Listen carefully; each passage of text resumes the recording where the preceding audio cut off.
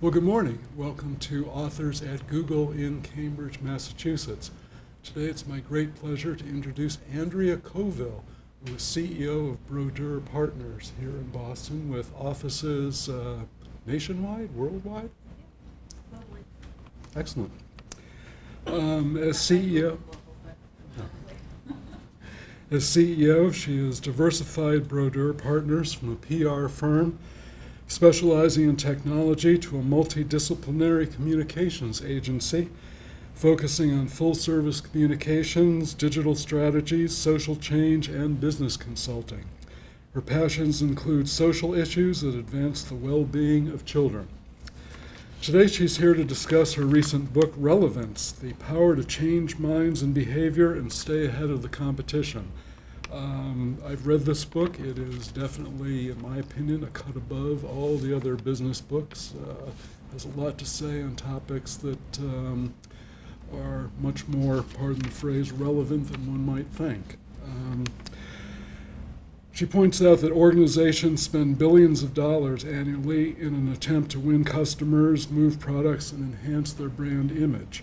However, um, many of these efforts are missing an essential element relevance. Ms. Coville draws on original research and two decades of experience to offer organizations a road tested plan for creating highly relevant messages that shift attitudes and, most importantly, consumer behavior. Please join me in welcoming Andrea Brodeur. Thank you so much for um, spending the, the next hour or so with me. Um, if I'd love just to ask you um, a little bit about yourselves. Um, anybody here from um, marketing? Product development? Maybe you could maybe you could tell me. Could you tell me some of the what you do? Um, I'm just an engineering intern, and I Cool. was excited to hear Neat. How about yourself? I'm in SRE, so it's also in engineering, although I've done politics and music booking. N- Awesome. I'm an engineer working with partners, supporting our partners in travel business. Oh, really interesting. I know that you are in the in the literary business. Well, but before that, I worked here and I did business development. Oh, cool. How about I'm in the global sales organization here, so very topical for us to Yeah. talk about relevance with our clients, getting lots of different messages and lots of different messages from us because we do so much. Mm-hmm. Uh, I'm also in global sales and working with companies, uh, oftentimes to help create a brand using food products. So Great. Molly? I'm an intern at Brodeur. I'm an engineering intern. I'm just really interested in what you have to say. Thanks. Engineering and travel. Great. Well, it is such a pleasure to meet all of you. Um, my name is Andy, and thank you for the very nice introduction. Um, and as my background has, I was I started out as a writer, got really interested by the importance of words, and then moved into marketing and, and actually public relations, which led me into the world of communications. And I think about six years ago, I had sort of this fundamental um, decision that I wanted to make, which was how to create more meaning in an industry that at times I felt could be a tad superficial. And as you know, you all are in the world of engineering and the importance of data high and analytics. And in my business in communications, as that business started shifting to really emphasizing the importance of that, I found that um, I found out that there's someone's phone. Probably just, just knock it off. Yeah. um, I found that there was less importance being placed. Do you mind just turning that off, Molly? Thank you. It's my phone, so I can't blame her for that. um, the, the, the lack of importance of putting the insight piece into the funnel was something I really wanted to spend some time on, and that was the original hypothesis when I began working on the book. Was is was it there was this sort of thinking that communications could truly change behavior, but could we really push that? Can you think can communications truly change behavior, or is it something that can support behavioral change?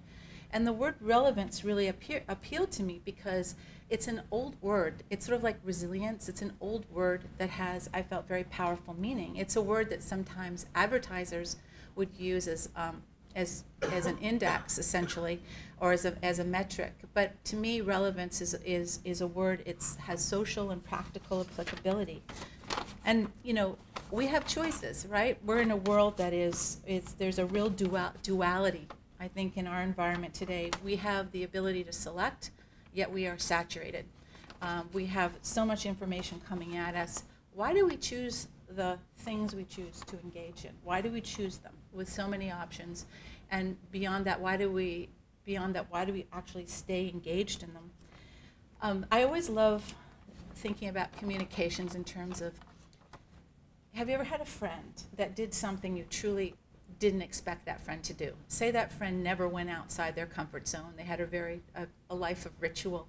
But that friend all of a sudden went to a lecture maybe once on Haiti and decided, never traveled before, decided to actually jump on a plane, go to an orphanage, help out, um, help out in, a, you know, almost like in a camping trip environment, and came back um, a completely, not changed person, but a, a really a broadened person. I'm always fascinated by the insight that comes from a person, an idea, a company, a brand that can get can open up people emotionally and get them to connect. So enter the relevant brand. What are and what my research focused on was trying to look at some of the drivers of behavioral change. Are there emotional triggers that we can identify? And are there maps, connection points? And again, my business is I'm, I'm an agency girl. I've grown up in agencies and communication, so I take this from a communications perspective. I'm not a behavioral psychologist, I'm a communications person. Our research started by asking people to self identify, and we looked at the cohorts on the right the baby boomers, the Gen Xers, the millennials. And I don't use those terms, those, those cohorts very often, but sometimes in terms of research like this, it just makes it easier. Um, we ask people to self identify by age. And you think about things like risk taking and ambition. And that makes sense. The younger you are, or the middle part you are in your career, somewhere to 30 to 54, you're going to be more risky. Probably is true with your stock investments as well. Um, it's interesting to see how optimism changes. You tend to, from our research, this is six months old, tend to be a little more optimistic before you turn 55. But the one thing that united every age group that people self identified with when chosen was compassion. So when you're thinking about a brand, and you're thinking about you're reaching an individual. Yes, you might be reaching an engineer, you might be reaching a doctor, you might be um, reaching a small business owner, but you are reaching a human being that in most circumstances truly values that compassion is really relevant to them. So once you think about the fact of how people self-identify, you ask people what is relevant to them personally. And this is a if we were on a webinar, I'd have you vote um, by you know clicking a button. Which of these do you think in our survey was the most important of these six? What do you think came out as top across all age groups? Any, you nailed it. Absolutely. So the next slide, you'll see important and relevant to you personally. Being understood collectively is probably the least important to all of us. Um, making a difference starts getting really important. Staying healthy, of course. But personally, what we care about is that our friends and family and caring for them, not just caring for them in a healthcare sense, but caring for them emotionally, is very, very important. And as you all know, I've seen the research, the only people that truly care where financial security moves up the list to the maybe the top, um, the top almost eighth is the wealthiest people care about being financially, you know, secure. So if you make 170,000 or more, you tend to work, you tend to put the staying healthy and financially secure kind of go hand in hand. But um, so what we did was um, the the research, and I'm going to get into a little bit more of it. And I want to show you some fresh research. I've only showed one other group before. Most companies and organizations really um, focus on the upper right hand side, the thinking side which is, you know, it makes a lot of sense. It's the rational, it's the functional piece of information. Helps make my needs, it helps my life, makes my life easier. I mean, if you just think about, as engineers, probably the way you received a lot of information, it's probably very data driven. I certainly, with um, physicians or surgeons, you're talking about outcomes, it's very, very specific. we started looking at how our data clustered, and it clustered into three other areas. Values, we started seeing people, especially if you look at the way a human being engages with a nonprofit, that's where your values as a human being connect to the organization. And you're going to see some data we have actually on your brand to Google that values are a very, very important part of your external brand. Um, the social, I don't mean social media here, I mean the social networks that we all bring, whether it's our bike club, our book club, our um, where we, who we travel with, if our if we have children, you know, the PTA systems or our children's friends. It's the networks we bring to our environments. And sensory. This is the piece that has been done, I think has the most incredible potential in terms of communications. I mean, I, you know, I like to use this example of, of uh, as a category changer because what they did, you know, if you remember way early on, and your company is certainly doing a ton of this, is they brought a six sensor experience to a very, I would say, static technology. And there are tons and tons of companies out there, from medical device companies to pharmaceutical companies to consumer companies that have an, an incredible opportunity to explore the sensory element of engaging with people emotionally. And I think there's a tremendous amount of research. So some of the metrics we use in our, our research and it correlates to the quadrants are the following. So we look for we look for things like values. Does it stand for the same things a human, you know, you do as a human being? If you're associated with a brand, how do you feel about yourself? You know, if you're a runner and you choose Camel water packs and they're the certain size and they fit when you run, what does that say about you? Um, it helps me meet my needs, It makes my life easier. There's that whole functional aspect. It's not for everyone, but it's for people like me. And it inspires me. And remembering at the center of all of this are individuals that care about their family and friends and are, are compassionate. So there's different relevance engagement pathways for different types of products we found. Personal products, um, it makes a lot of sense, you know, and personal products would be would be a would be a, a smartphone or could even be a, a, a, razor, but you associate it with the values uh, that are important, but most of all, it, it really meets your needs. There's a functional aspect to it high-end pro um, products like um, cars, luxury goods, or you know, not necessarily luxury cars, but maybe that's a choice. Whether you're a Zipcar um, uh, consumer or you buy your own car, part of it is something about wanting people to know that you're associated with it and um, it meets your needs. Professional services, um, very, very all about making your life easier. Thinking about your relationship with your accountant Again, these are where the drivers of relevance um, kind of burst. There, but the opportunity is to look where the um, shorter drivers of relevance are, and is there an opportunity to explore those? And certainly with charitable organizations, you can see that the charitable organizations are very value-based, values-based in terms of their branding, communications. But the data we just did, and I'll show you this in a, more, in a minute, that the functional side, people are caring more and more about the return on their donation. Even if it's $10, they want to know it goes somewhere. Um, so here's some interesting data when you start thinking for, from our perspective about category lo loyalty. All problems in the world can be solved if you bring people together for food and drink. I guess that's sort of the number one thing. Everybody thinks and is loyal to food and drink brands. Um, number one category loyalty. News and information comes second. And way down, down at the end, end is automobiles. Um, and with the exception of consumer electronics, um, it's pretty evenly skewed, um, brand loyalty between men and women of all ages. Then you kind of, kind of look at um, category um, level against age, against different demographics. And what's interesting to me is that news and information um, sources from the 18 to 24 cohort and the 65 plus are equally are, are have a lot in common. Um, and certainly, I would say the the uh, the Gen X, the Gen Xers, the Gen Yers, um, food and drink are really key. But it's interesting to see the media consumption so important at both ends of the of the age of the age axis here. Um, if you look at, at this across ethnicities, you can see the ranking order of category loyalty going from left to right, where food and drink, you know, there's the most across all ethnicities going down to automobiles, where, which is um, the, la- the least um, uh, category loyalty, although Caucasians have the highest loyalty to automobiles, and um, African Americans skew the highest in terms of news and information sources. Yes. Explaining what um, brand or category loyalty means exactly um, here for food and drink or news? Is this It means that they have, I, I, I- those questions that I showed you a couple slides about, they have answered those questions, and they've also indicated that they will um, stay, they care most. We ask them, uh, out of all of these categories, what do you care most about, and what do you change your preference, preferences about least? So you don't switch, like you, your favorite restaurants, your favorite beers. You stay loyal to them over a period of time.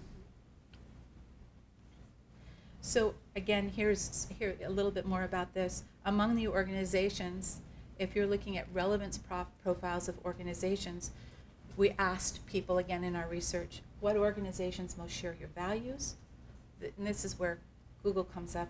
Is it the most ex- interesting and exciting out of people we would put or companies we put in your category? Who would you miss most if you were gone? And who would you like to do business with? So this is six months um, data, and you can see that, I don't think it would surprise you, uh, um, that Microsoft has sort of this, a lot of, you know, just from, um, for decades, a sort of embedded brand um, relevance in, in, uh, in corporations. Um, Apple, certainly through its, um, you know, it's, it's in the, in the Stephen Jobs era, really, really um, sort of created this, uh, this, people, you know, thought of them as the most interesting. But what was so interesting to us about the Google um, responses were that people would miss you the most. And I think if it's just, if it's, if people haven't even experienced any other product other than just search, if you ask people, if you took the ability to do Google search out of your daily life, what would your life be like? And people say, I couldn't stand it. We couldn't, we would, we would completely miss it. And even if that's the only entry point they have into your brand.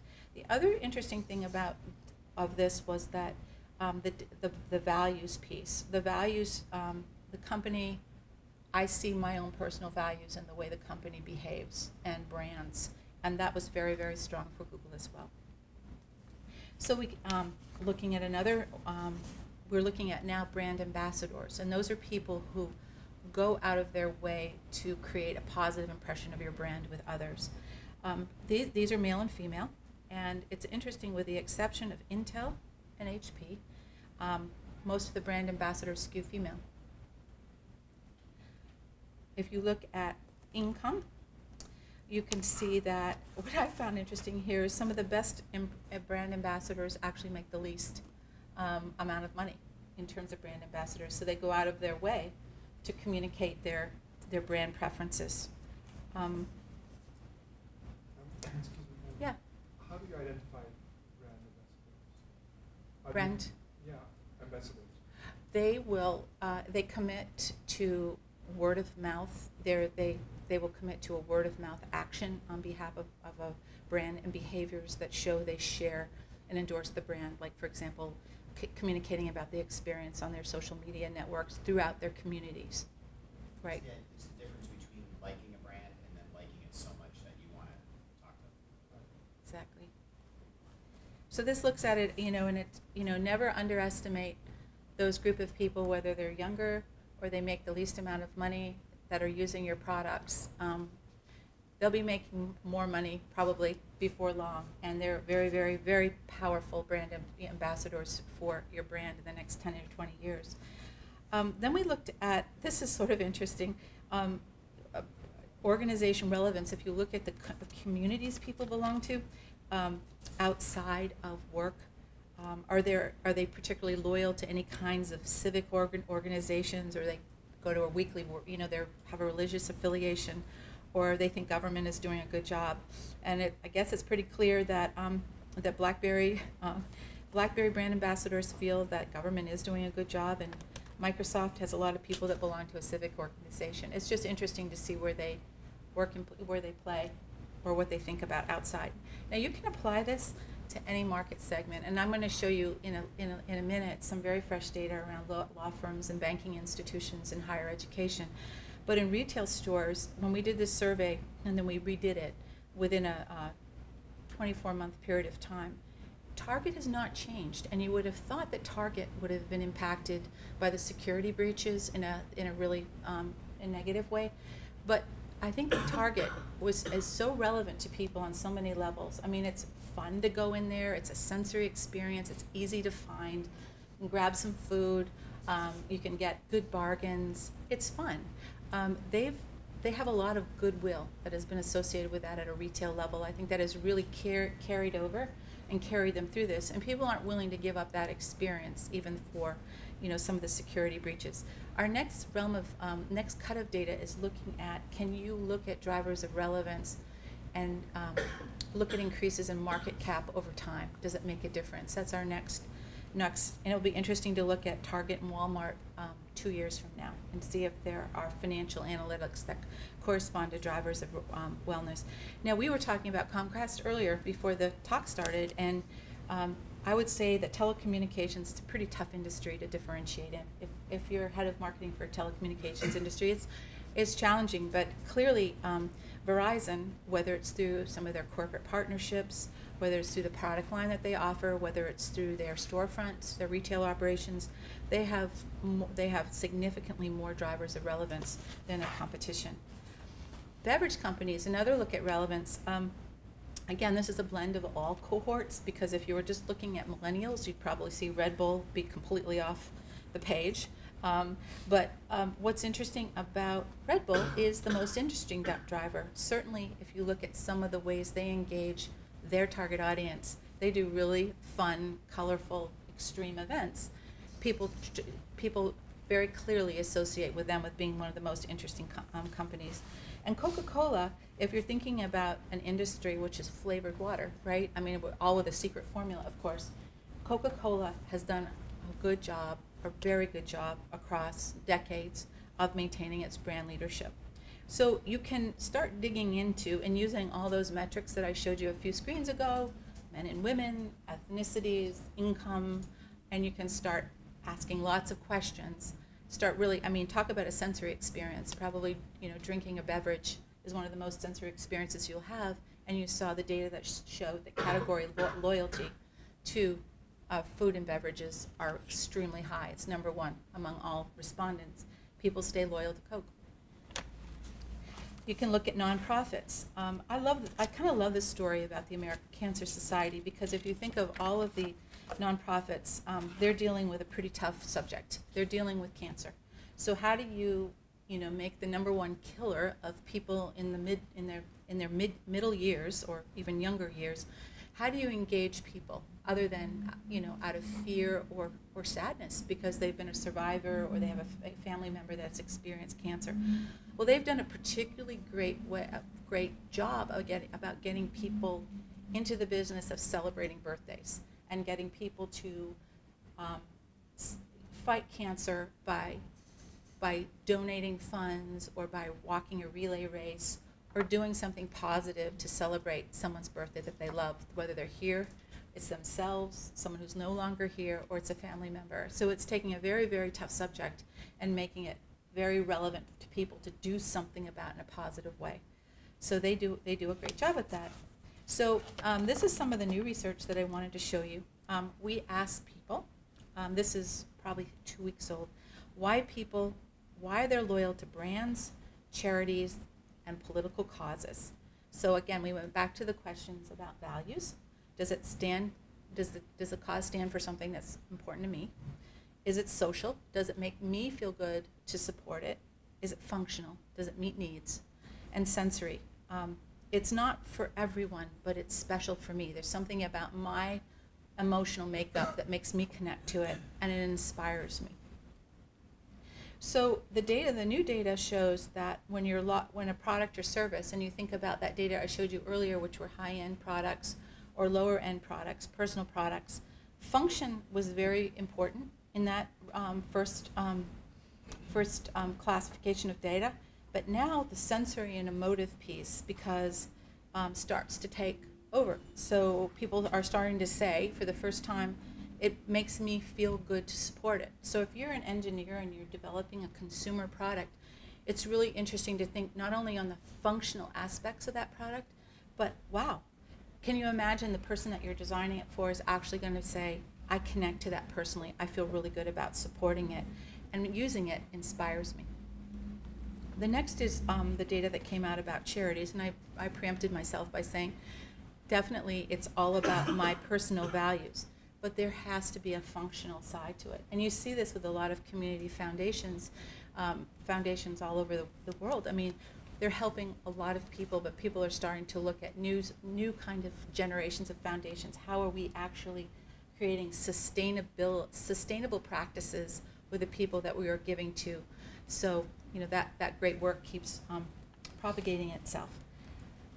Really interesting. This sort of explains to me the sort of the state of affairs on politics. But people, what's really important to people is when they vote for a candidate, is they like them.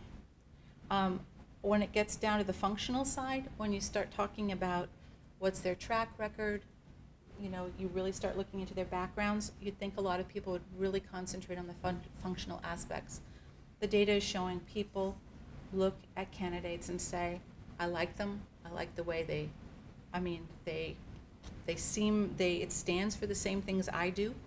Um, it, I associate it with values that are important to me. It's a very, very um, values ethics driven. And you can see why the divides exist are amongst parties because there's so many different slices of values and ethics in our in our nation. So if you take a look at collapsing the three elements on this slide, you can see that different different sectors have different balances, different quadrant balances of relevance. But there's such an opportunity and they're balanced for a good reason. So my my argument is I do not I'm not suggesting you know make all quadrants equal. I'm not suggesting don't lead where your strength is. But what I'm suggesting are there are insights that you can find from the other three quadrants that can add trem- a tremendous emotional dimension to the um, to the creative product that you're putting out there for people. And I think we're beginning to see that the analytics and the, the data do support creating an insight that is tremendously unique and that's derived from a very holistic look, at a person rather than just a functional look at a person. So here's some new, fresh new data. It's law firm. You're thinking about a law firm. You you're in the you're in the room with your parents. Um, you both are thinking, well, the firm I choose will be the one with the most successful track record, with the greatest clients, the greatest number of cases won. Um, is it a firm that I know? Is is one I can personally trust? Um, the firm is it a social? So for example, is it a, does it have a really good track record with social causes? Um, is it recommended by a friend or a family member or someone in my business? And or is finding a relationship inside a firm with someone that's really committed to helping me have a successful outcome. That emotion sort of falls, falls more in the sensory bucket. And it's really interesting to say that um, the whole, the red quadrant, um, lower right, is the firm I choose will be the one I can personally trust. 37%, that was important too. 27% was, was the firm that was, and this is collectively, um, was the firm that helped the individual achieve a successful outcome. The firm I choose will be the one recommended by another person, and then finally the, the track record. But it's interesting, the youngest people in our survey cared about the track record the most. And the older people, um, especially in the 55 to 64 year old range, really cared about the commitment to the outcome. So the lesson for us as branders and marketers is relevance changes. Relevance changes as your it's circumstantial. It changes with how your life goes, um, and it changes with with different situations. It's very situational, but you know the things, um, and you'll see also in banking that there's a trend to, in the early parts of our lives, we're thinking about maximizing returns all the time our data started to show that people would actually forego a dollar of profit for a long-standing relationship and with a financial institution that cared about you across your lifetime. So again, we asked them the same sorts of questions. I just gave you a sneak peek into this. Um, the, the two leading um, quadrants were one about firms I know are used by people I trust and respect, so word of mouth very, very important in financial services. And the second one was saving money. Um, the, uh, the digital um, ease of use was the smallest slice, but most important, you'll see to the youngest audience. And then this, um, the red, the red part became very, very important to people as they age. So you can see how the data kind of, um, this, this chart explains what I just said. So I don't know if any of you got, are in this room are still paying off college loans. I know I'm a parent. I have three boys in college. Um, I was really fascinated with the results of this of this survey. So we're if you're thinking about choosing a college, and we look again same age spectrum. What do you care about? Do you care about an- a learning experience that can help you prepare for a career? Do you care about a learning experience that socially connects you to other people? Is it your network you get when you graduate? Is it about an experience that changes or shapes your values? And is, or is it about just something that creates an overall positive experience? Well, unequivocally, getting a job, having an experience that leads to a successful outcome where you are employed is incredibly important. It's incredibly important to people who are in college, who have recently graduated from college, or who are currently paying for their kids' college, or you know who are you're paying off your loans. So again, looking at uh, you know 10 years ago, I think this would have been very very different. I think the social networks, if we had done this, would have been very very important. Who you know, who you meet, are those are the tickets to getting you a job later in life. So again, this is the breakdown. This shows how you know the a college, university, or learning experience can prepare you for a career. Clearly, the leading indicator across all age cohorts. Pretty interesting. So I've told you this is survey work. So this is a lot of marketing survey work. There are also pieces of relevance that you can get, which I just call that are circumstantially. And you know, we look across one of the tools we have. It's a software product that recognizes keywords or phrases. So we can work, look across the social um, platforms. And for example, if we're looking for working for a luxury good hotel, we can see how people words or phrases that are used in conversation or dialogue that are associated with Hilton, that are associated with the Four Seasons, that might be associated with the Ritz Carlton. And I use this example because it's um, we found a very very interesting insight. We were looking at luxury categories. We had done our qualitative and quantitative research. We'd done all the relevance profiles. We saw this comment that just kept cropping up about Ritz Carlton hotels. And the online dialogue, the words and phrases, were all talking about the water temperature and pressure of Ritz Carlton hotels. And they said, if you are a business traveler, you have got to step there, stay at a Ritz Carlton. There's no better shower in the world if you're traveling. It's the temperature, it's the pressure. It's better than the coffee or the great smelling lobby or the soft towels or whatever it is. It's the water temperature pressure.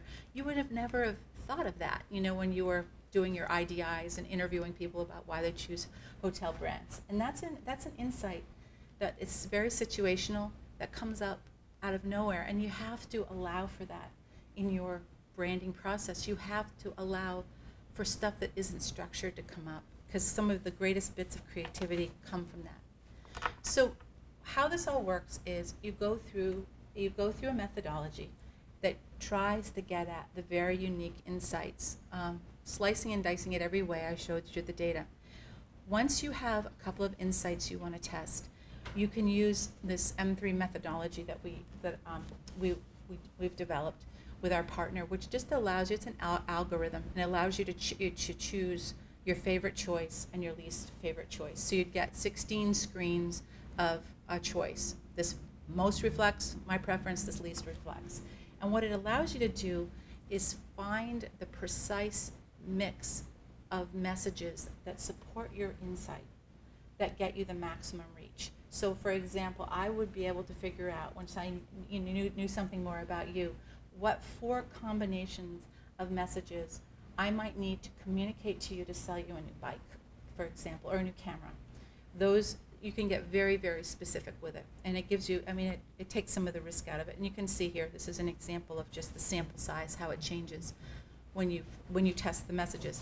The other lesson is people think you know, it's really easy for people that are driving brands or they make products to assume that they think they know what the messages are, and you learn so much about testing with just asking people because some, some sometimes the things you assume are going to be correct aren't. So, I mean, at the end of the day, um, this is sort of towards the end of things. We've done this with a bunch of clients over the last 25 years, from financial services companies to medical device companies that are introducing power sutures to pharmaceutical companies to nonprofits. Um, and relevance, if I could tell you seven things that are really important, and this can be true for building personal relevance, like in your job or your team, is the best brands are movements, not products. They're the things that you spark an insight that gets people to capture it and then they carry it forward. Those are the best brands. They don't they're not depending on you putting that content out there all the time. People create the content for themselves. They help people tell their stories. And every there are people everybody has different stories, but there are people that respond, there are communities of people that love and respond to uh, stories in different ways the um, relevance relevance achieves that making people feel better not worse. Having meaning in this world even if you're talking about cancer you have to give people something that touches the, their compassion their ability to care for friends and family. They don't want to feel worse than they already do. They want to make new connections expands they, there's something expansive about it. It's easy and it's fun to self-identify with a brand you feel like that brand is connecting to you. I mean, I think Chobani does a really great job of that. For a pretty broad based consumer brand, Chobani does an awesome job about speaking to people where they are. They know who they're trying to reach, and they do a good job. And ultimately, you're meeting a need and you're solving a problem. I've told you, you know, about the work that the American Cancer Society does. That's a great example of relevance. The second one I would just talk to you is a little bit, you know, the Ocean Conservancy. Here's an example of how relevance can make a difference they were struggling with their donations. Um, they wanted to get their capital campaign or their annual gift giving campaign. It wasn't where they wanted it to be, and their messaging was great, their website was great, but it wasn't doing the job. And what they found through their research was that instead of talking to people about the ocean's health, like you should care about the Atlantic Ocean because the beaches are cleaner and there's better fishing and there's no trash and marine life survives, when people started connecting the ocean's health to their personal health, that was the aha. It's like if that estuary gets sick, you get sick. If the water doesn't work on our planet, that's an enormous problem. And if you use the, the, the, the right combination of messages, A, to get people to care, to inspire them, to connect with them, that makes a huge difference. So that turned out to be the message, the connecting the ocean's health with personal health that made the difference, and the and the analytics and the data behind the campaign showed that. So that's a fast look, kind of a run through of what relevance in the book, and the book is a lot more about stories from our my experience in business and working with clients. So, thank you for giving me the opportunity to meet you and to share it. Any questions? nice to meet you.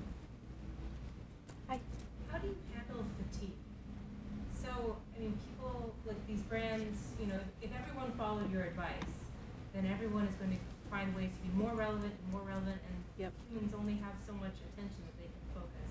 So how do you, is there a way to handle like customers just getting fatigued with being bombarded constantly by these personalized messages? I, I agree, and that's why I started it the way I did, because I think people start self-selecting just when they begin their day about what they want to do. So in this day and age, to be able to connect with you, which for, from the starting point, you have to be relevant. That's the point. First of all, you have to have know enough about you or a brand that would appeal to you to get that to break through. And you know, it's going to get it's going to get more intense, not less intense. And I think that's the thing that brands need to understand. The power, the power of just creating more and more information for us at every I mean, pretty, you know, I'm sure it will be in every device we use, there'll be some ability to interact with content that content has to be relevant. And the other point is you can't assume you are relevant. I think the biggest mistake companies make are they assume they have a great conversation with their clients. They assume they or their customers they know what they want. and they don't. And it's really hard to regain relevance once you've lost it. If you make a, you know, if you're making an assumption that apps aren't important in a business environment, you're developing products, that's a tough, tough thing to come back from, you know. So it's listening to people, listening to lots of people looking for unconventional wisdoms and insights. You know, whoever came up with the zip car idea, what a what a great thing if you think about an unconventional wisdom in a pretty conventional market. Great example.